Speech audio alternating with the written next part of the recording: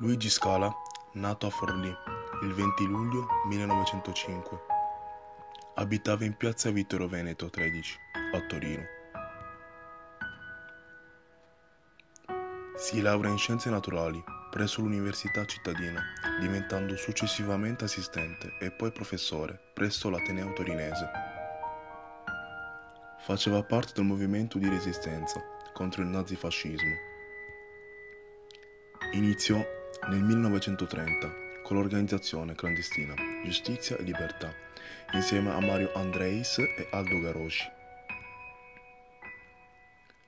Nel settembre del 1931 Luigi Scala contribuì all'estensione del giornaletto Voci d'Officina e riuscì a diffonderne tre numeri.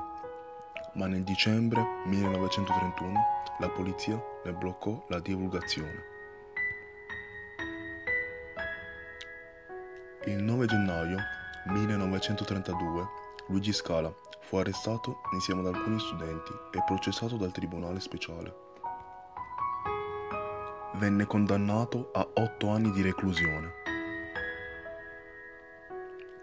Scarcerato nel gennaio 1935 per condono, riprese subito la sua attività politica. L'11 ottobre 1936 un nuovo arresto insieme al gruppo anarchico a causa della propaganda svolta in favore della Spagna repubblicana. Il 12 marzo 1937 il Tribunale Speciale condanna Luigi Scala a 12 anni di reclusione. Nell'agosto 1943 fu liberato dal carcere di Castellanfranco Emilia insieme ad altri detenuti, tra i quali Vittorio Foa. Successivamente si lega al Partito d'Azione con il fratello Giancarlo, entrando nel comando regionale G1, nome di battaglia Gigi. Il 2 dicembre 1943 fu arrestato dai tedeschi insieme alla parente Marisa Scala ed incarcerato presso il carcere Le Nuove di Torino.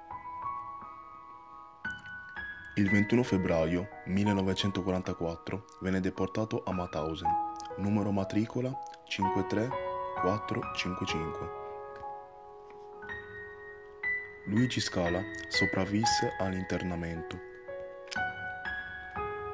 Uscì dal campo in condizioni devastanti a causa delle privazioni e della violenza subita all'interno del lager. Il professore era alto 1,80 ed aveva una costituzione atletica, ma era ridotto ad una larva umana. Pesava 38 kg. Venne ritrovato da Marisa Scala grazie alla sua perseveranza.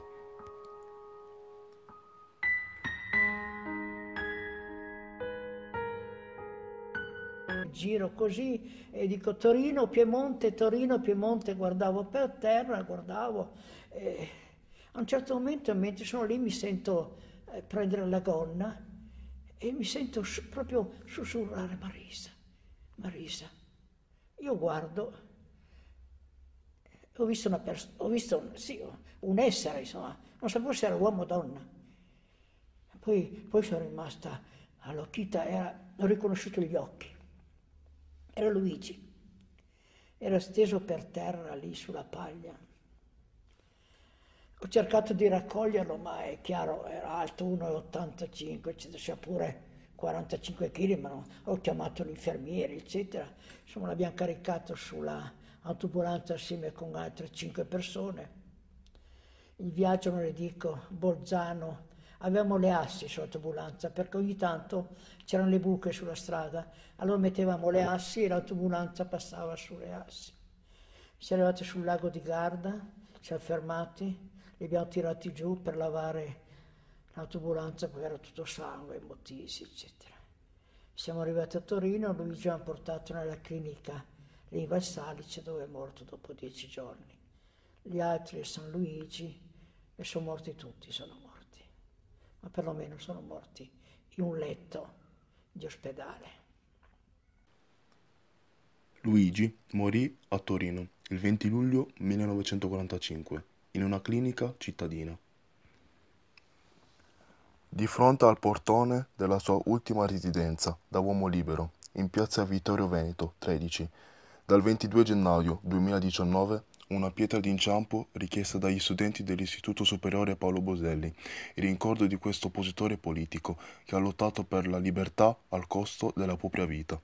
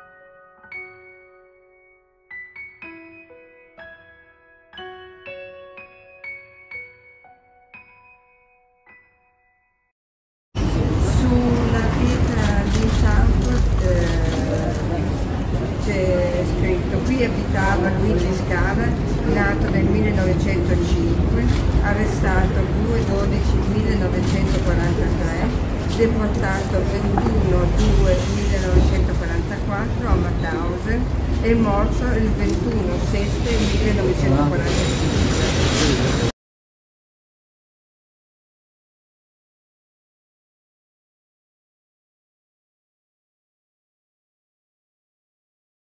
È un grosso riconoscimento per una persona che ha dato la vita per la resistenza, per rendere l'Italia libera. Ha qualche ricordo comunque? No, perché noi non l'abbiamo conosciuto. Io sono nata nel 53, lui è nato nel E ricordi 1905. magari che danno aneddoti che danno raccontato? No, mm, perché l'unica che parlava un po' di suo cugino Luigi era la zia Marisa che è nata nel 19. Mio padre ha sempre parlato pochissimo. Lui ha assistito all'intervista ma nel 1980 Comunque lui, io sono nata nel 53 e lui nel 62, quindi non potevamo... Troppo giovane. Troppo giovane! non più tanto adesso. Troppo io, giovane. Eh, beh, È così. E infatti eh, sono dovuta documentarmi anch'io perché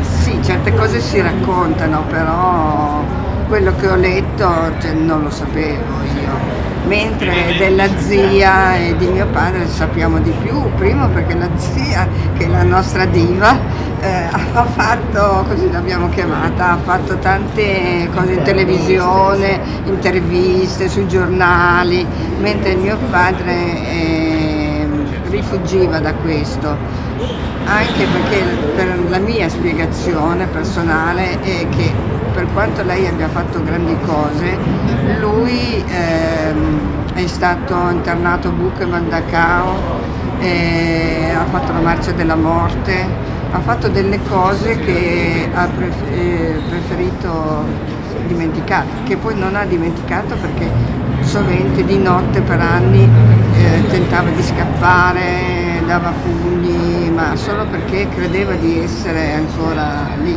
Quindi il trauma non è, non è mai stato superato. l'aveva almeno- sempre trattato La sua divisa eh, del campo di concentramento è al Museo di Torino, le carceri. Ah, Eh, da Cavo non devono essere stati dei, dei soggiorni, quindi quando è tornato da sua madre era 35 kg, poi sono nata io e mio padre è stato diversi anni in sanatorio. Di- Ecco perché c'è differenza tra noi, perché era preferibile non avere subito un altro figlio. Eh,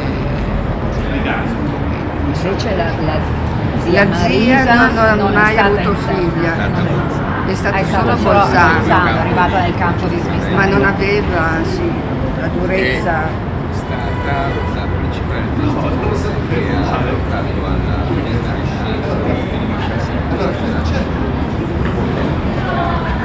cacciato dal padrone e abbandonato alla cittadinanza. Lei era intorno tre giorni fa, 99 anni dovrebbe compiuto 100 anni adesso. E, e comunque sapeva Aveva che la grinta. stata questa cosa. Sì, sì, sì, perché Anche mi ha mio chiesto. padre, aspettavamo da prima che mancasse qualche, lui è mancato a Il a 3 di maggio.